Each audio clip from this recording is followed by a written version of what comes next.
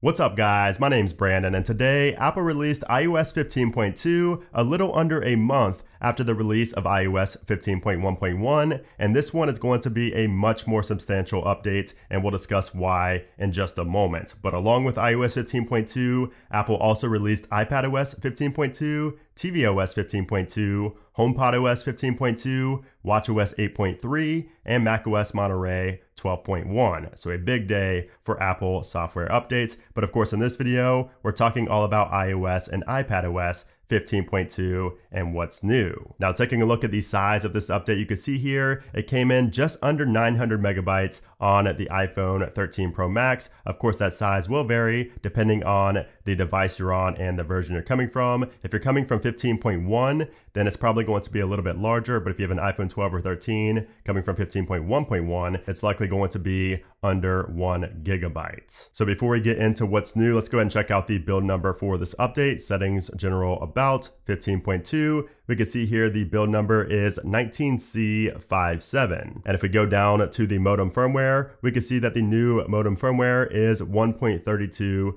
15.09. So if you were still having connectivity issues on iOS 15.1 or 15.1.1, you could see those improved thanks to this new modem firmware update. All right, so now what's new here in iOS 15.2? And the first thing is a big new privacy feature. So if we go into our settings and then go to privacy and then go all the way down to the bottom, you will see app privacy report. Now, previously, on previous versions of iOS 15, that said record app activity. And if we went into that, it would show us, you know, this right here. And it said that we can save our app activity from the last seven days. Well, now in iOS 15.2, we have a new UI here that shows us all the information without having to download it and open it up in another program. So you can see here, it says, App Privacy Report records data and sensor access app and website network activity, and the most frequently contacted domains. So basically, if an application accesses your contacts, your media library, your camera, your microphone, any of that, it will be reported and recorded right here inside of this section. So for instance, if we go into, let's just say the weather, it accesses my location. If I go into here, we could see every time it accessed my location down to the specific minute which is awesome. And if we go back, you can see we can also see app network activity, like for Safari, we could see all the different domains that were contacted and the websites visited in app, and it shows all of that information down here as well. You can go really in depth and see the specific details about everything. I mean, you can go really in depth here and you really get full transparency as far as when applications are contacting domains and accessing different information on your device. So this is a very awesome feature here in iOS 15.2, definitely one of the biggest. We also get a brand new UI for the notification summary. So if you go into your notification center and if you had this set up in settings, you will see that you get this brand new UI for your notification summary. So it shows kind of all the applications inside of it. And then when you tap to open it, you can see we have a new look for when you open up the notification summary as well. So a nice improvement here in this update. We can also now access the hide my email feature directly from the mail application. So if you have iCloud Plus and you have access to the hide my email feature, you can now go ahead and compose a message in mail, then tap on the from field and you will see a new option to hide my email and it says create a random address that forwards to your inbox. So now when you select that, it will send your email using an anonymous email, but it will send it straight to your actual email inbox. So much more convenient now to be able to do that straight from the mail application. Also new in this update is a very long overdue feature in Apple Music that allows us to search within a playlist. So now if you go to a playlist and swipe down, you now see a search bar up top. And when you go to that, you can search for a specific artist or a specific song, and it will show all the results for that. So if you search for it, and then if you shuffle those songs, it will only shuffle the songs from this selection right here. It won't shuffle your entire library, which is also very nice. So again, very long overdue, but you can now search within playlists on 15.2. And speaking of Apple Music, Apple also just launched the Apple Music Voice Plan. So this allows you to access the entire Apple Music catalog, but only via voice, only through Siri. So this is great for more casual users who don't want to curate playlists and things like that. If you just want to ask a HomePod or ask your iPhone to play music, and that's it, then you can do that with this voice plan for $5 a month as opposed to $10 a month for the entire, the full fledged Apple Music plan. We also get access to the Digital Legacy program and Legacy Contacts with iOS 15.2. So if we go into our settings and then go to the iCloud section and then to password and security, and then close to the bottom, you will see Legacy Contact. And it says a legacy contact is someone you trust to have access to the data in your account after your death. So if you tap on that, this is where you will be able to access your contact list and select contacts that you want to be able to access your data after you pass away. So not really something you want to think about, but something you should strongly consider setting up just in case an accident were to happen. You want to make sure that certain people will have access to your data because a lot of times, even when people die, the parents will not be granted access to that person's information, even if you go to court. I've seen multiple cases of that. So you may want to set this up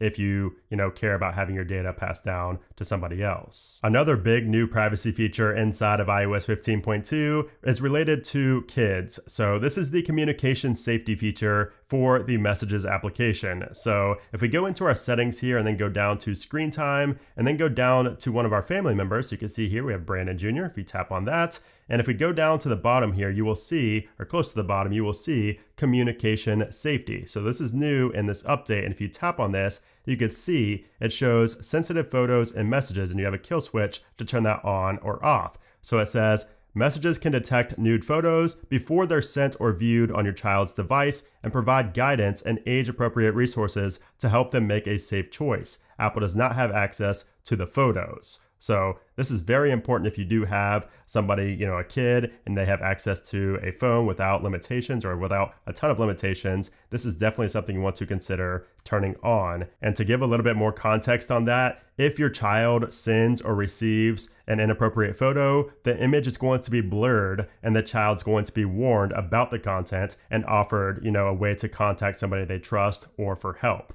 So it's very awesome. And keep in mind, this is not CSAM. This is something that has been enabled to run and doesn't scan, you know, iCloud photos. CSAM detection has been delayed indefinitely by Apple, so this is just going to be a communication safety feature, not CSAM. Again, Apple does not have access to the photos. We also have some changes to the emergency SOS feature. So if we go to our settings and then down to emergency SOS, if we compare this to iOS 15.1.1 on the left, you could see we have multiple changes. So now it says call withhold hold instead of call with side button. And then instead of auto call, it now says call with five presses. So not only has the verbiage changed, but also we now have an eight second countdown before placing an emergency call instead of just a three second countdown. So you'll be a lot less likely to accidentally call emergency services after this new update. Now, one of my favorite features in this update is exclusive to the iPhone 13 Pro and 13 Pro Max. So if you have a 13 Pro or 13 Pro Max and you go into the camera application,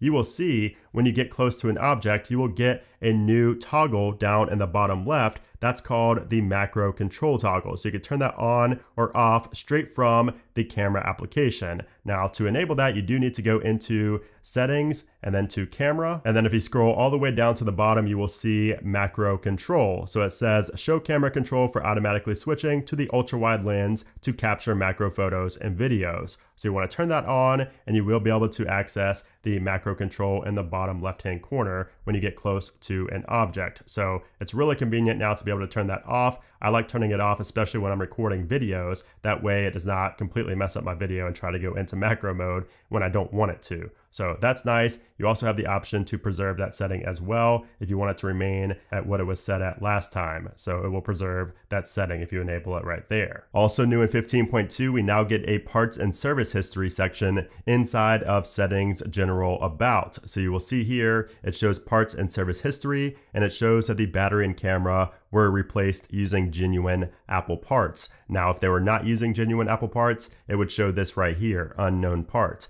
which is great if you buy iPhones secondhand and you want to make sure that if something was replaced, you want to make sure it was using a genuine Apple parts. And now you can see that straight from settings on the iPhone. Now keep in mind, you can only see if the battery has been replaced for the iPhone 10R, 10s, and 10s Max. For the iPhone 11 and 12, you can see whether or not the battery or the display have been replaced. And then for the iPhone 12 and 13, you can see the battery display and camera, whether or not those have been replaced with genuine Apple parts or not. So again, an excellent feature for buying secondhand iPhones. We also have some changes inside of the stocks application. So now inside of stocks, you can see right underneath of the ticker, you can see there it shows Apple, but under here it shows that it's in USD and it also shows the stock exchange it's on. So it shows NASDAQ and USD, whereas before on iOS 15 and 15.1.1, it doesn't show any of that down there. And then also for the chart view, you can see we now have a year to date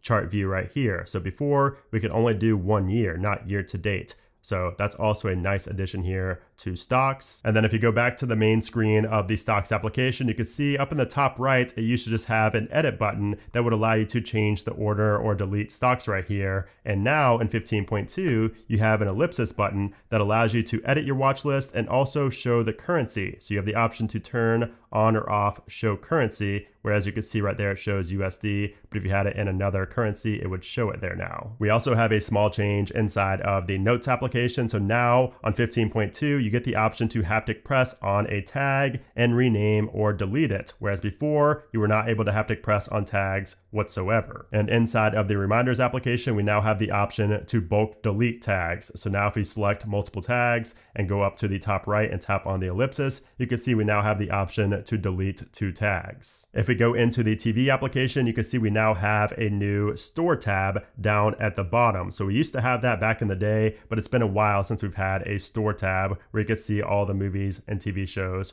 right here. We also have some minor verbiage changes inside of our settings if you have iCloud Private Relay enabled. So if you go to your cellular settings or your Wi-Fi settings, once you enable iCloud Private Relay, you will see that instead of just having a tab, a little kill switch there for iCloud Private Relay, it now says limit IP address tracking and it says limit IP address tracking by hiding your IP address from known trackers and Mail and Safari. When this is turned off, iCloud Private Relay will also be turned off for this network. And then for those of you who use CarPlay, you now have an enhanced city map when you use the Maps application that shows road details like turn lanes, medians, bike lanes, and pedestrian crosswalks for supported cities. Also, when your phone powers off, you now have access to Find My for up to five hours after going into power reserve mode. So basically, once your phone either dies of battery or gets turned off, you can still locate it inside of the Find My application for up to five hours. And then for iPad OS, we get all of those features I just mentioned, in addition to a new feature if we go into our settings here. And then if we go into General and then down to gestures, you can see right here that we have corner gestures and it says allow finger to swipe from corner and you could select either the left corner or right corner and it could either do a screenshot or a quick note or you could turn it off. So this used to require an Apple Pencil, but now you can do it just from your finger. So now if we swipe from the bottom right, you can see we have a quick note right there. If we swipe from the bottom left, you can see we just took a screenshot. So this is awesome. I'll be using this a lot on my iPad. Now moving on to some bug fixes here in iOS 15.2, we have a few of them. So you can see here the first one is Siri may not respond while voiceover is running and iPhone is locked. So if you use the voiceover feature, you should see some improvements there after updating. There was also a major issue with Pro RAW photos before, but that has been addressed here in this update. So it says Pro RAW photos may appear overexposed when viewing in third-party photo editing apps. So this happened to me with Photoshop and a lot of other people had issues as well. So that has been addressed if you shoot videos or shoot photos rather in ProRAW format. HomeKit scenes that include a garage door may not run from CarPlay when your iPhone is locked. So now that is fixed for HomeKit. We also have a fix for CarPlay. So it says CarPlay may not update now playing information for certain apps. That has been addressed. We also have a fix for the iPhone 13 models when it came to video streaming apps not loading content. So that has been addressed here with this update. And then finally, calendar apps may appear on the wrong day for Microsoft Exchange users. So if you use Exchange and you had calendar events set up, if you had them added to your calendar and they showed the wrong date, that has been fixed here with 15.2. Now we also have some additional bug fixes that Apple did not mention in the release notes. And the first one was this right here. This was one of my major complaints about iOS 15.1 and 15.1.1. Almost every day I had an issue with the notification center where I'd have these massive gaps between notifications and sometimes they would overlap. So this is really annoying, and this has been fixed here with iOS 15.2 thankfully. And then we also had issues with auto brightness in iOS 15.1 and 15.1.1, but that appears to be fixed here with 15.2 as well. So your auto brightness should work as intended. And then for those of you who had issues with CarPlay, you should also see CarPlay improvements along with the new look on the Maps application. Now, as far as remaining bugs go, there is a bug with the music application and battery drain. So you can see here, Apple mentions streaming in the music app could result in higher CPU usage, causing faster battery drain in some scenarios. Now, I have been monitoring this issue ever since it first came out in the beta stages, and it was pretty bad in beta 2. So in 15.2 beta 2, this issue is bad and it caused a lot of battery drain, but then in beta 3 it got better, and then by beta 4 it was pretty much non-existent. So you could see some battery drain, but I think it's going to be very, very minor. So I will let you guys know in my follow-up video on the weekend if this has indeed gotten better, or if I do notice battery drain, I'll let you guys know what I think about it, just because I've not had enough time yet to see how much of an impact this actually makes. And then we do also have the Siri bug still remaining, so sometimes Siri's voice will just completely switch up and revert back to the original voice, the default voice, so that seems to be an issue still in 15.2. And then also some users might still see an issue with the iPhone storage not showing the correct calculations up top. Now, as far as performance goes, iOS 15.2 seems quicker and more fluid than 15.1 and 15.1.1, and I don't have near as many bugs as I did on those versions because, you know, the bugs were apparent pretty much right away, but all the bugs I was facing on 15.1 and 15.1.1 have been fixed here with this update. Aside from the Siri bug, which doesn't really happen to me very often, but aside from that, pretty much all of my bugs have been resolved. So I would expect the performance to be better here with this update. I did also run a Geekbench test here, and you can see the score. So we got a 1730 on the single core